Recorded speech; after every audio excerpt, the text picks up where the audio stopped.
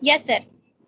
there are three types of special chromosomes which are which are uh, included in your syllabus and these three special types of chromosome include Lamb-Brush chromosome, Lamb-Brush chromosome, polytene chromosome and B chromosome.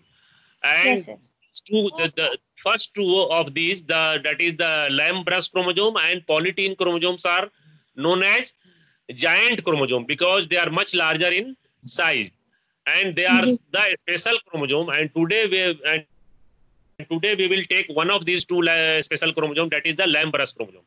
It was it was uh, Fleming it was Fleming who for the first time reported Lamb-Brush chromosome in in 1882 in 1800 in the year 1882 it was Fleming who reported for the first time Lamb-Brush chromosome in the amphibian oocytes mein, in the amphibian oocytes and the detailed study and the detailed study of this Lamb-Brush chromosome was made by was made by J. Ruckert. J. Ruckert was a scientist who made the detailed study of this uh, Lamb-Brush chromosome uh, in in Sark oocyte. Sark oocyte में इन्होंने detailed study किया था Lamb-Brush chromosome का.